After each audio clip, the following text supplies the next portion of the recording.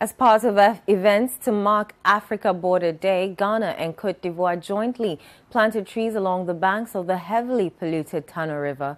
The tree planting exercise was jointly done at Elubo on the Ghana side to mark the Green Ghana Day initiative, while a Durbar was held across the border in Cote d'Ivoire to commemorate the Africa Border Day under the theme Challenges of Cross-Border Cooperation and Management of Shared Resources. Addressing the press, the Western Regional Minister Kwabena Okyere-Darko stated that Ghana is on high alert to deter any insurgency along Ghana's land borders. We are providing security and making sure that borders do not become a source of conflict, but rather a source of prosperity. We will be in good stead in celebrating the border day and the greening project such that our two countries can grow together both in prosperity and in security.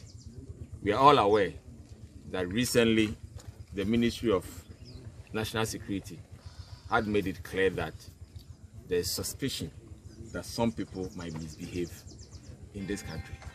And therefore today we'll talk about see something and say something.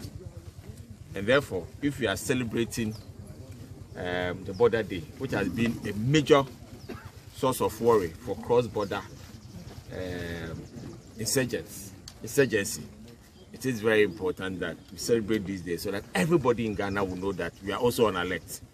And we use the opportunity also to inform ourselves to be on alert to protect our